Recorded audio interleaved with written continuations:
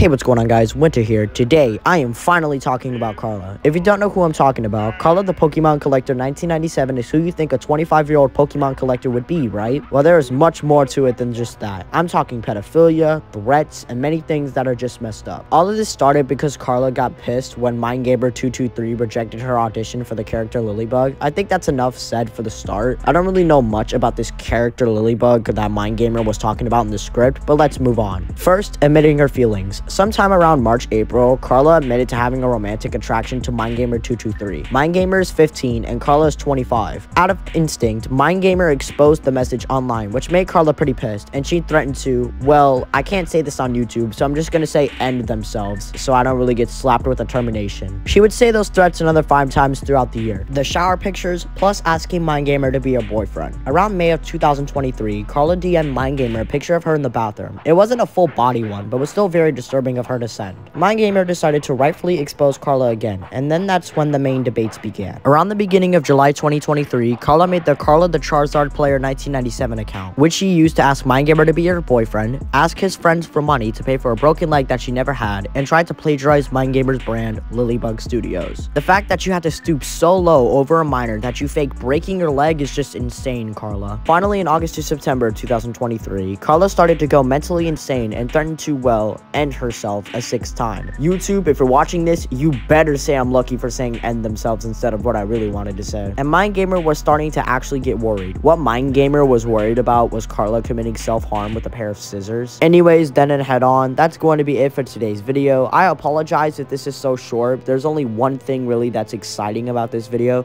is that this is my first premiere in damn near two years. I hope that kind of excites you too, but in the end, I want to do more premieres in the future. That's that's fine with all of you. Just let me know when you want these little premiere videos to come out. You just gotta let me know in my comment sections or the comment sections of my community posts. Anyways, that's going to be all. Comment, like, and subscribe, and I'll see you guys next time.